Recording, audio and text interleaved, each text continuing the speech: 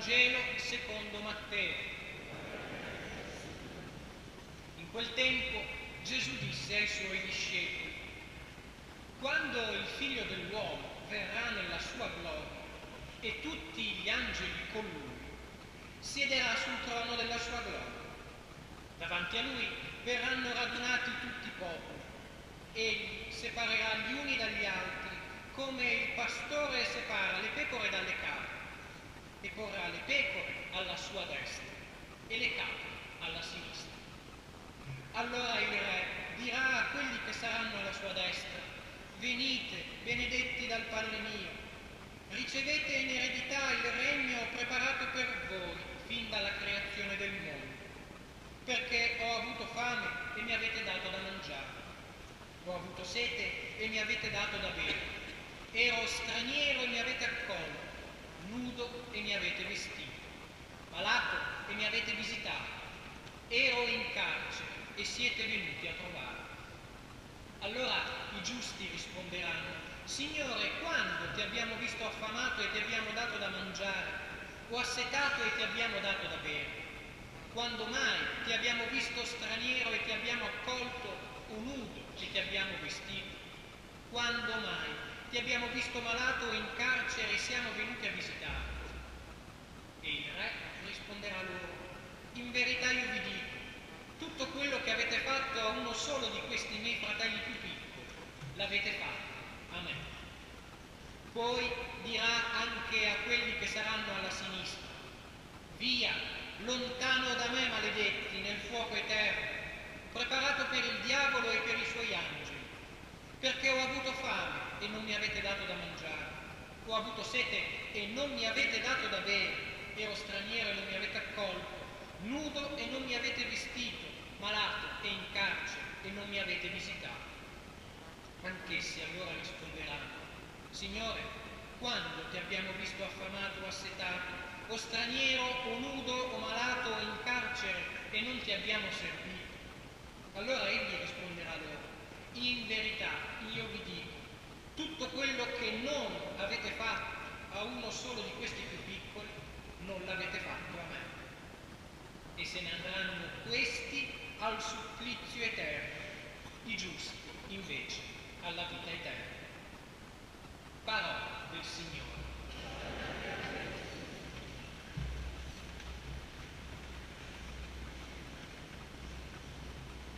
Celebriamo la commemorazione dei fedeli defunti, tutti quei nostri fratelli che, avendo terminato il percorso su questa terra, si sono già presentati davanti a Dio per ricevere il giusto della ricompensa che gli attende.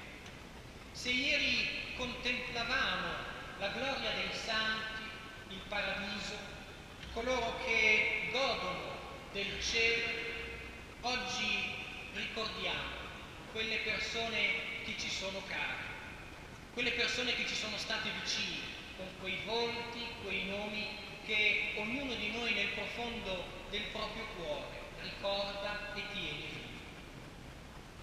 I defunti.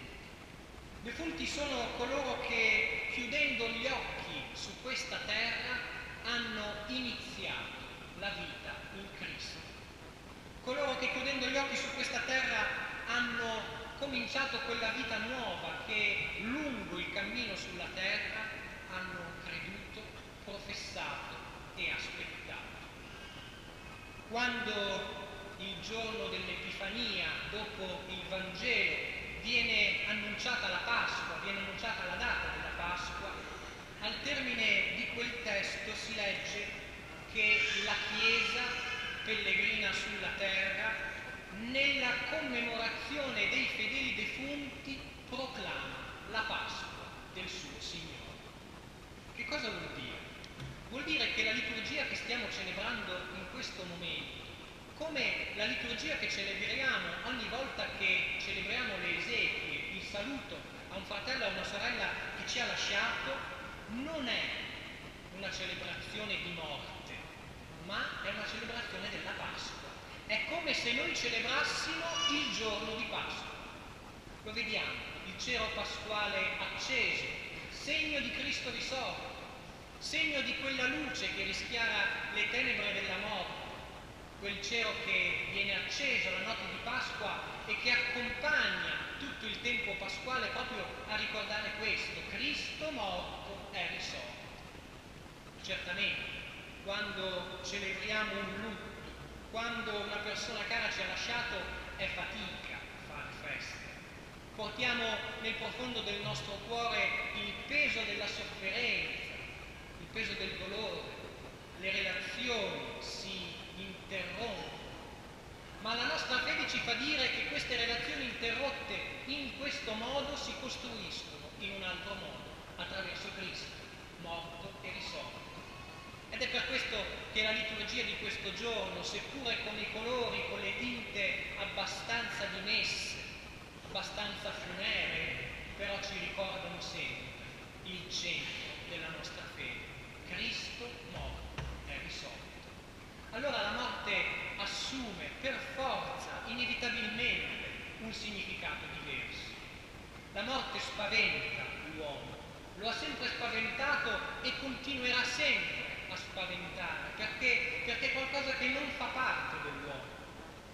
La morte, dice la scrittura, è entrata nel mondo per invidia del diavolo, perché il diavolo odia talmente tanto l'uomo che lo vuole separare da Dio. Come? Attraverso la paura.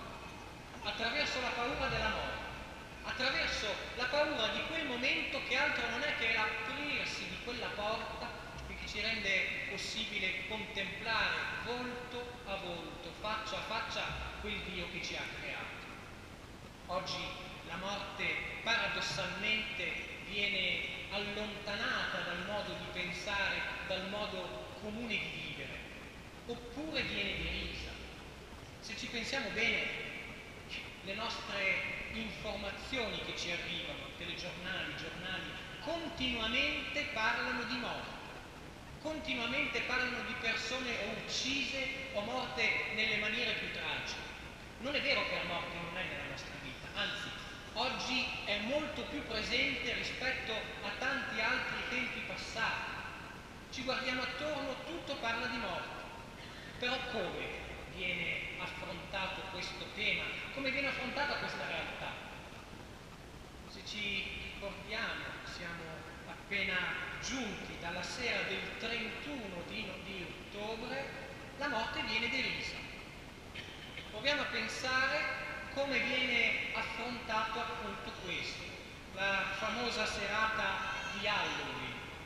Mostri, zombie, morti viventi che quasi canzonano, prendono in giro questa realtà. Ma perché? Chiediamoci non è semplicemente una pura festa di divertimento, c'è un messaggio sotto forte, che questa realtà che fa paura, siccome io non riesco ad affrontarla, siccome io umanamente non trovo le risposte per risolvere questo problema oggettivo dell'uomo, la risposta che ci siamo dati, che l'umanità si è data qual è? Prenderla in burro, prenderla in giro, divertirsi su questo, pensando che facendo in questo modo allontana il problema della morte, la paura della morte. Ma la parola di Dio ci dice un'altra cosa. La morte non è la fine dell'uomo. La morte è Cristo morto e risorto, che si dona a ciascuno di noi e che a ciascuno di noi dona la vita eterna. Allora ricordare i nostri fratelli defunti coloro che sono già passati attraverso questa porta diventa per noi l'occasione per riprendere in mano la nostra fede. In che cosa crediamo? Crediamo in Cristo morto e risorto, lo diciamo tutte le domeniche nel credo, ma è poi così vero, è poi così fondamentale nella nostra vita questo credo, o viviamo come se Cristo non fosse risorto e di conseguenza ci spaventiamo e cerchiamo tutti i modi per allontanare il pensiero e la paura della morte. Perché se Cristo è risorto, che paura dobbiamo avere? Perché se noi celebriamo la risurrezione di Cristo e celebriamo la nostra risurrezione nel battesimo, che paura dobbiamo avere davanti alla morte? Cristo morto è risorto e dona a ciascuno di noi la vita eterna. L'abbiamo sentito nel Vangelo. I giusti andranno alla vita eterna. Allora, in questo giorno, ricordiamoci dei nostri fratelli, delle nostre sorelle che hanno già chiuso gli occhi su questa terra e li hanno già aperti in cielo. Ma facciamoci coraggio l'un l'altro. Guardiamo quel cielo acceso, ricordiamoci ancora una volta che Cristo ha vinto la che la morte va affrontata con questo spirito, con questa intenzione, il passaggio dalla morte alla vita. Allora, seppure non riusciremo a togliere il dolore, la fatica, la sofferenza per quelle persone che ci hanno lasciato, sapremo vivere quei momenti con la speranza del cristiano, la speranza che ci fa dire non è finito tutto, ma anzi inizia una nuova vita e finalmente la vita eterna.